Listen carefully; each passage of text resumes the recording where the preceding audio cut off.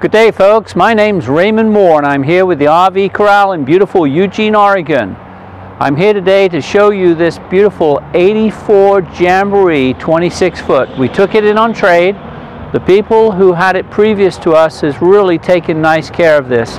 I know it's older, I know there's a little fading going on with the striping, but for a starter coach for a young family, it would be perfect.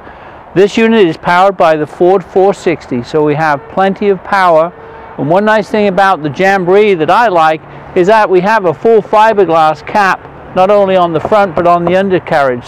Some of the other manufacturers put aluminum here and if it leaked then everything gets electrolysis and starts falling down. As you know we can have a nice awning that covers the door, uh, decent set of tires. I don't know uh, how new they are but they've got a lot of tread life left in them. Down in the back here we do have a 4,000 watt Onan generator and the generator will power the roof air conditioning, it'll power the microwave, uh, your coffee pot, miscellaneous items like that. We do have a receiver hitch and the receiver hitch is rated for 3,500 pounds. Great for towing that little 18 foot ski boat. Ladder and luggage rack up on the top to get up there so you can take care of the roof as far as sealing it because you do need to do that every couple of years. These things are like boats. You've got to take care of them and they'll take care of you. We have a 30 amp cord service uh, tucked into this little hole here. And down below, we have a place to keep our sewer hose. Nothing really on this side. We have a six gallon hot water heater, which is going to be propane electronic ignition from the inside. And we have a little storage area that goes underneath in the booth. Let's go around to the entrance door and we'll show you the floor plan. By the way, folks, we're located just seven minutes south of the Eugene Airport. And our weather starts to get a little over cloudy. There we go, Curtis. If you want to go inside first, I'll follow you in.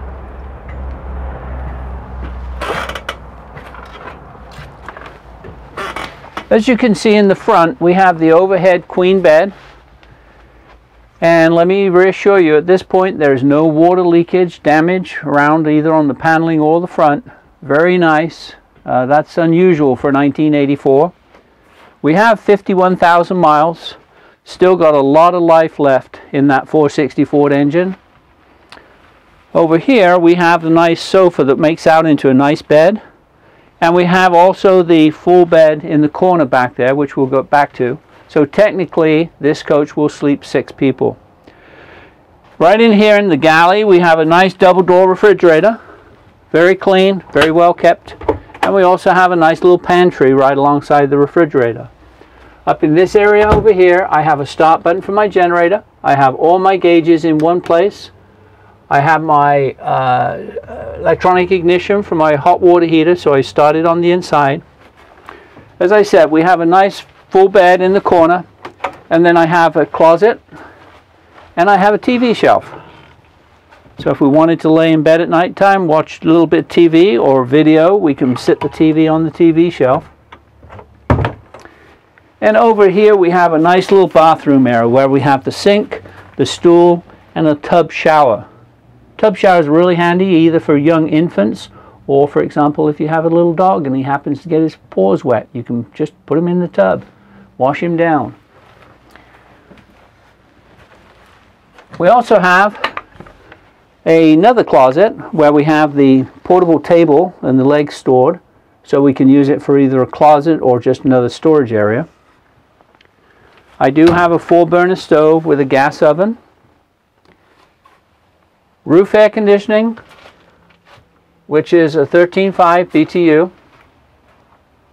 And then I have a couple of other small vents. But folks, again, if you look at the ceiling, everything is nice and solid. We don't have a lot of um, marks from leakage. Uh, we don't have any bad odors in here. Uh, so check it out. Take a look uh, on our website if you need more further information or even want to come by for a test drive. My name is Raymond Moore with the RV Corral, and I hope this will find a nice home for it. Thank you and have a great day.